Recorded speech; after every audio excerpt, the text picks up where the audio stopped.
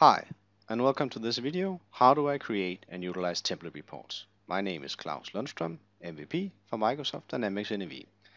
This video was made in cooperation with the training center Plataan.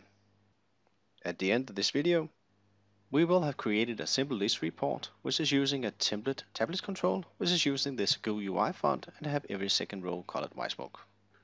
Also, at the end of this video, you will understand how to set the page units, paper size, and margins in report properties. So every time you create a new report, these settings will be set to how you want them. And at last, you will know how to add multiple templates to your project, so it's easy for you to grab a template control and direct this into your current project, saving you much time when designing reports. To work with template reports, we need to do a couple of things. First, we need to modify the existing report RDLC file found in the report layout folder in the RoleTailored client folder. The report.rdlc file is the file which contains the layout of our report. When we create a new report, no layout exists. So the report RDLC file found in the RoleTailored client folder will be used. Modifications to the report RDLC file cannot be done directly in the report layout folder, so we need to copy the file to a separate folder and do our modifications here.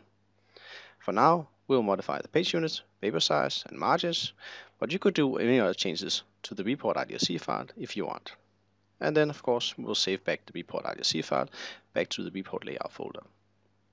Then we copy in existing templates which I have created prior to this video. When we do this, we can easily navigate to these templates in Visual Studio and copy in controls which we need for our current project, saving us much time for creating and modifying these controls from scratch each time we create a new report. At last, we create a new report real fast, since we do not have to spend time on designing the tablix control, which we're going to use in this report, since we already prepared this tablix control in the template report. Let's get started. I will create a new report, I'll click new, and in the data source, I will select 18 for the customer table.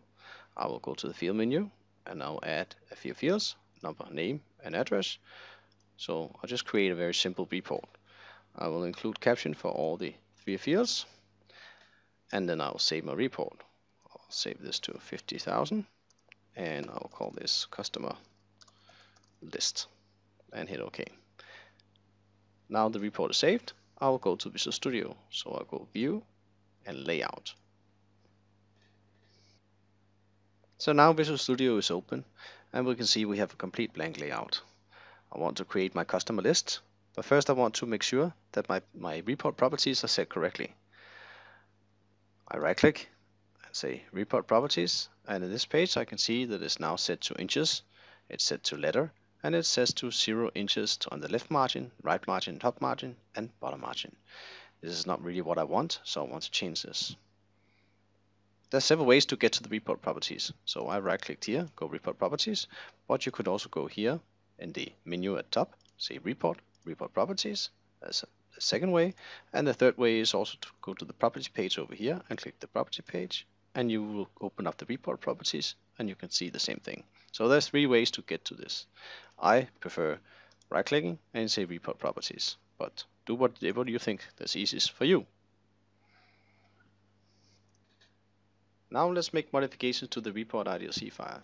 You'll find this in the program files, Microsoft Dynamics NAV, 7.1, RoleTailored client, and report layout folder and you will see the file is here and we need to take a copy of this. So uh, I'll right click I say copy and I'll paste it over here.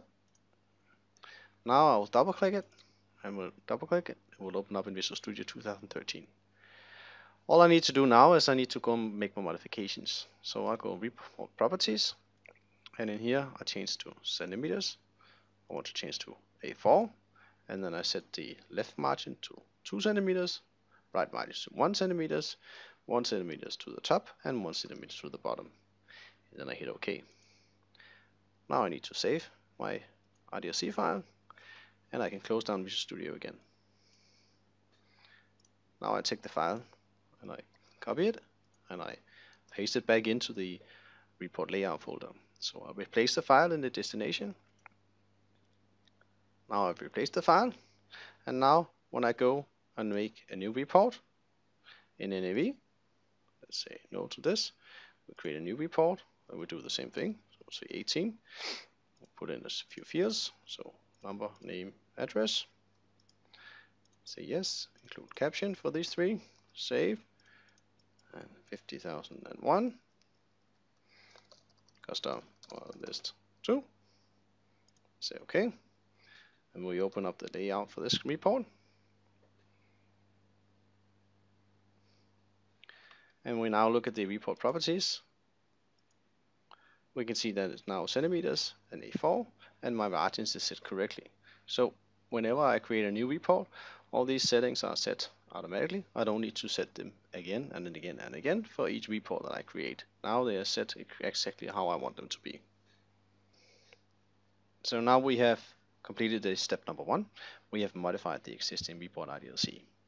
We have copied it, we have modified it, and we have saved it back into the report layout folder. Now, for step number two, we want to use uh, existing templates that I have created, and we want to copy them to the report layout folder so we can reuse the controls here.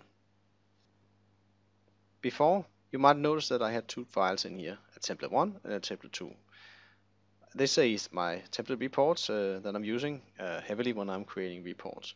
So if I double click the template one here, I can see when Visual Studio opens up, I can see that I have a control here. There's uh, one tablix control here. I have a tablix, sorry, a tablix control here, and I have a tablix control here. And I have a uh, header control up here where I have my title, my company, and my page caption and execution time, page number, user ID, and so forth. All the things that I just grab uh, from this report when I create a, uh, a new report.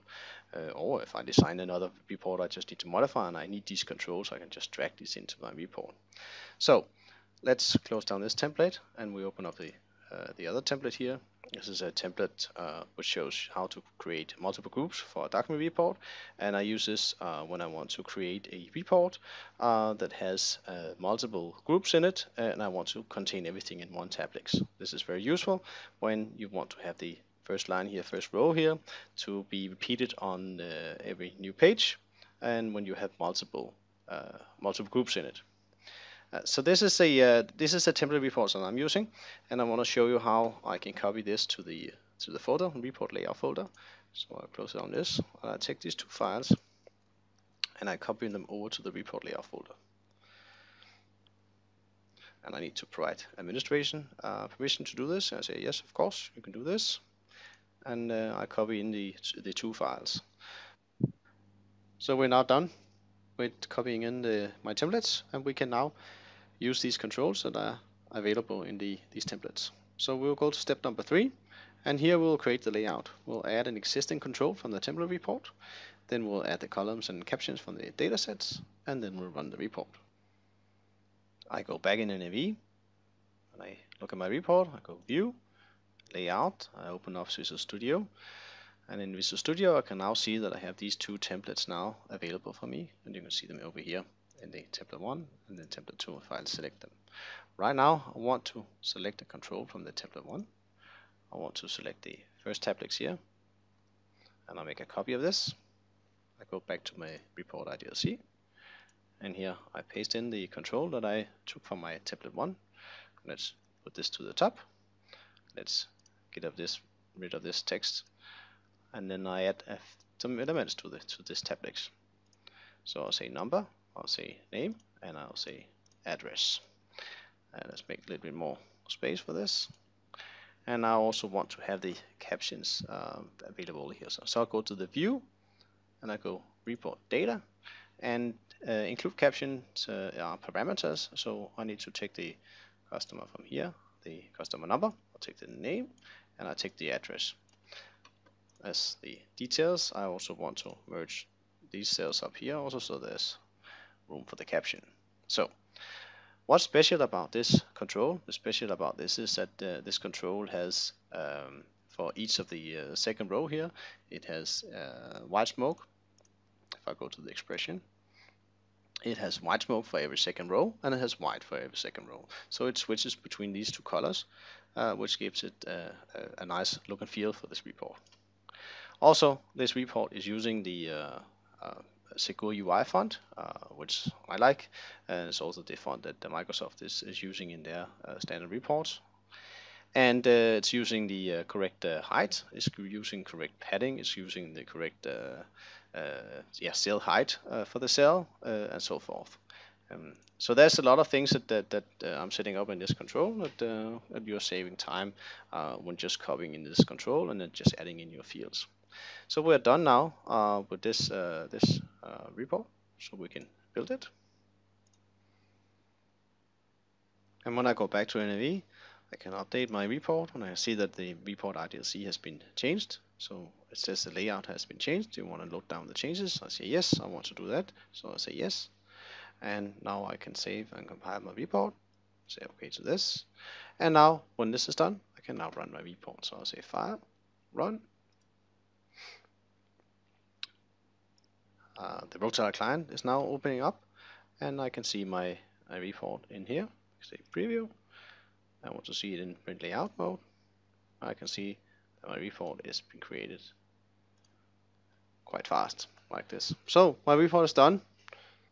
To summarize, you have seen how we modify the report RDLC so it has the settings you want them to be for page units, paper size, and margins.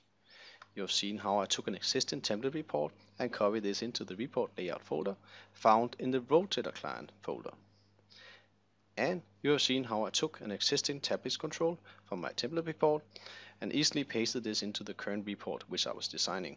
So I very easily could create my report and I did not have to create the tablix from scratch. I hope you enjoy this How Do I video. I'm Claus Lundstrøm, MVP for Microsoft Dynamics NAV. Thanks for watching.